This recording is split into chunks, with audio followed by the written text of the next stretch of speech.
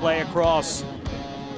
Dixon whips it into the box, comes down to Barril. Great finish by Jose Barril to break the tie and get OKC Energy on the board. Now Marr along the far sideline. He's going to make a move inside. Gets it underneath Hopi out. Into the middle. A shot toward goal and buried into the left side of the net. An early advantage for Swope Park. For North Carolina.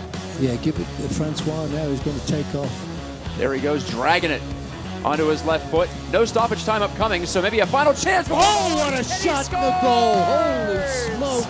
Christiano Francois. He buried that one, Matt. Is it a giveaway here for Alex Bruce now?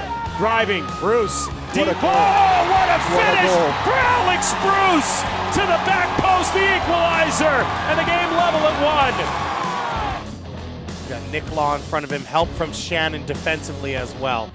All the way out here for Kutler, who drives it into the top left corner.